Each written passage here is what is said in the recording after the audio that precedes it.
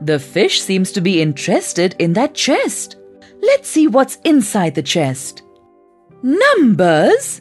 There are numbers inside this treasure chest?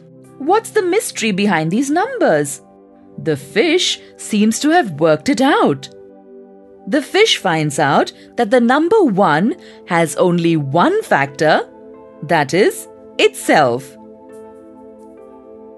Number 2 has two factors, 1 and 2. There are some more numbers that have two factors.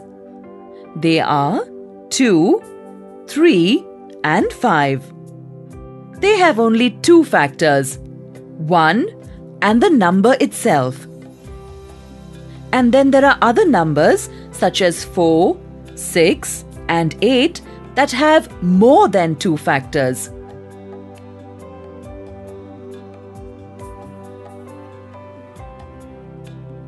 Numbers such as 2, 3, 5, and 7 have only two factors 1 and the number itself.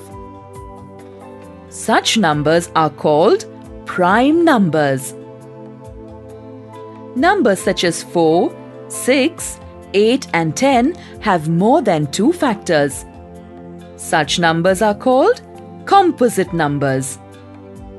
What about 1? 1 is neither prime nor composite.